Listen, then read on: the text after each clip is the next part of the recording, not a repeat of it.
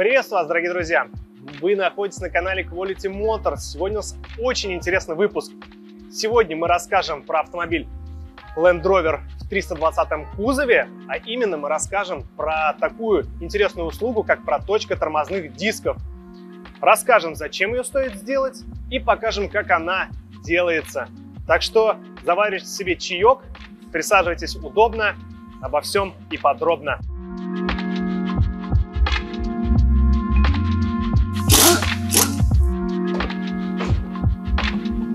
Взять.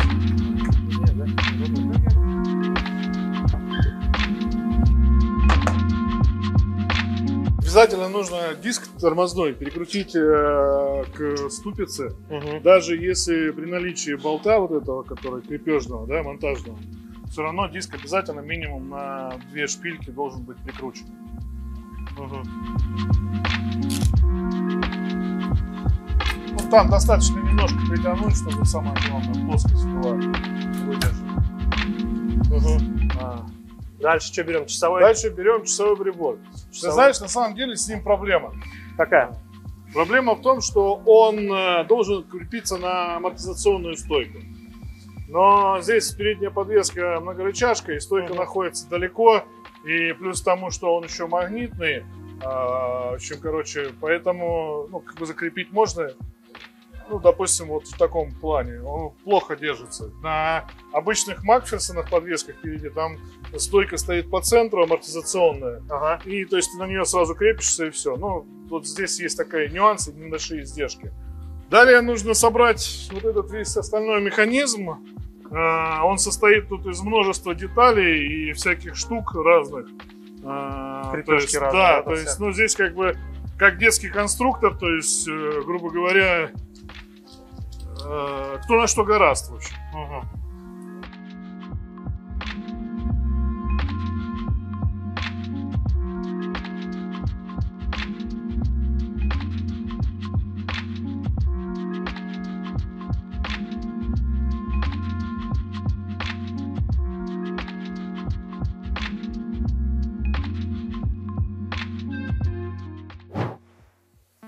по результатам этого теста, Ну. диагностики, мы понимаем, что с тормозными дисками есть проблемы. Они, как в простонародье говорят, бьют. Бьют. Соответственно, теперь нужно понять, можно ли эти диски проточить или нет. На многих тормозных дисках указаны характеристики, технические характеристики. На а, самих. внутри, да, на самих тормозных дисках, а вот как и на этих в том числе. Вот. Минимально допустимая толщина 2,7 миллиметра. 27 миллиметров. 27 миллиметров. Для этого нам нужен штангенциркуль и, соответственно, произведем замер остаточной толщины тормозного диска. Здесь, чтобы подлезть для замера тормозных дисков, э, нам придется снять супер. Потому что э, он мешает, Пыльник, да? и да, пыльник закрывает практически всю площадь, поэтому пока мы не сменим тормозной суппорт, мы не сможем их поднять. Мгм. С счастью, снимаются они здесь несложно. На этой тормозной системе здесь достаточно крутить всего лишь два болта. Игорян, давай снимай суппорт.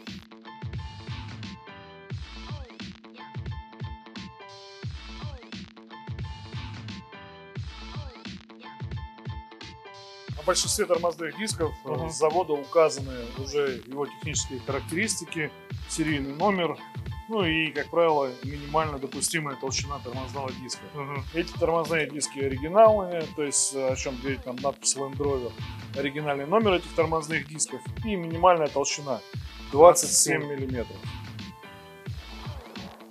Для замера толщины тормозных дисков используется специальный штангенцир.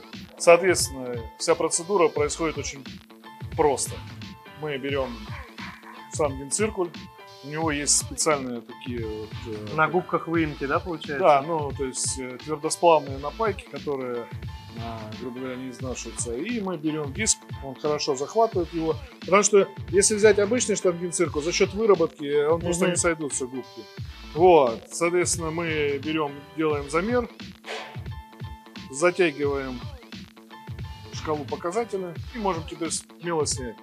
То есть по результатам наших измерений остаточная толщина этих тормозных дисков ну где-то примерно 27,8 в общем, ну, вот в этом пределе. То есть можно даже сотки посчитать, сколько у нас получается.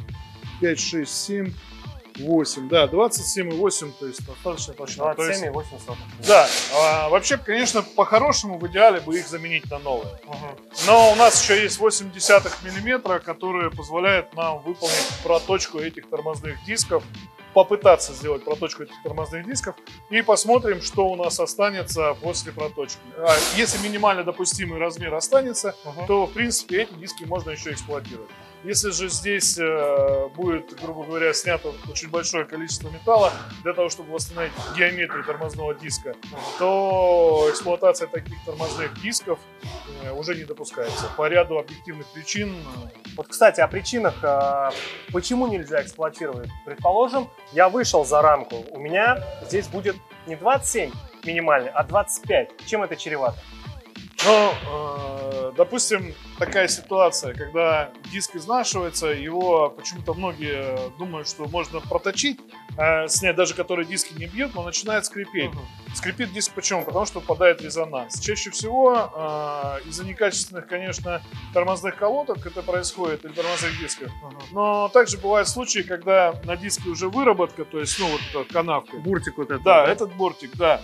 Тормозная колодка, когда мы нажимаем на тормоз, она нажимает на диск на тормозной. Когда мы отпускаем педаль тормоза, она немножечко отходит от тормозного диска, да.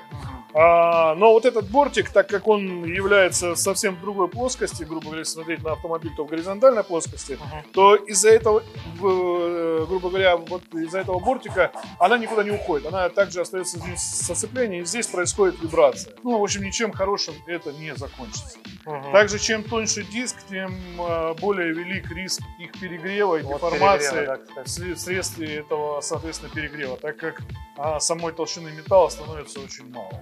Потому что даже новые диски тормозные э, при резком изменении температуры ведет, как и в данном случае повело тормозные диски, скорее всего их перегрели. Может быть из-за несвоевременного обслуживания тормозных механизмов, может быть по другим объективным причинам.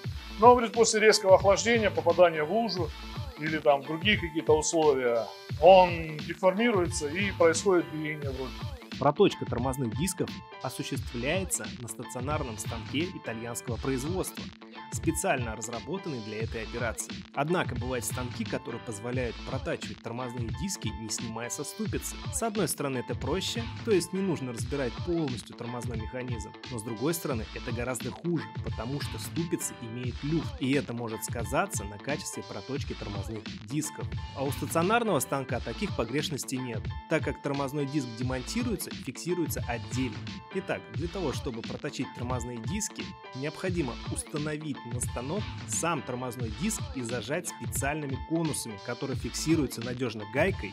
Фреза первым проходом снимает только минимально необходимое количество металла с диска, чтобы убрать биение и бороздки на диске.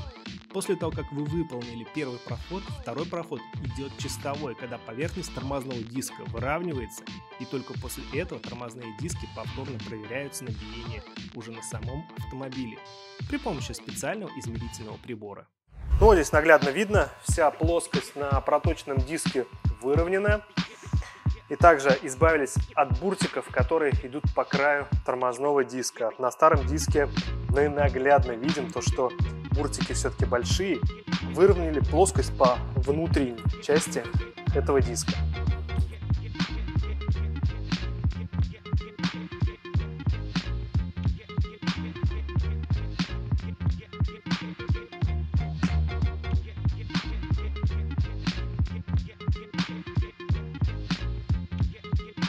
После проточки диск установили на свое законное место, и мы сейчас а, проведем замер состояния диска после проточки. Как помните, до этого стрелка у нас довольно-таки большой размах брала.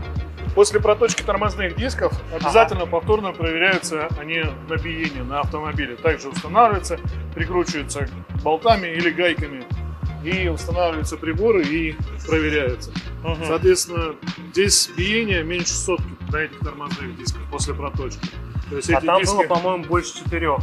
Э, ну, на одном диске было больше четырех, э, на втором диске там вообще было почти 10 соток. Так что, да, диск э, был неровный, кривой. Да, поэтому здесь допустимое биение на этом тормозном диске, тем более поверхность после станка, она слегка имеет шероховатость, то есть она не гладкая. Не забываем ставить новые тормозные колодки даже при проточке тормозных дисков. Так как поверхность мы полностью выровняли, старые колодки не подходят, поэтому мы заказали новые, оригинальные специально под этот автомобиль. Автомобиль мы отдали, клиент доволен, ну а наш ролик подошел к концу. Я хочу вам пожелать удачи на дорогах, поменьше ломайтесь, не забудьте подписаться на наш канал, поставить лайк и написать комментарий. Ну а я с вами прощаюсь, с вами был Юрий, всего доброго, пока!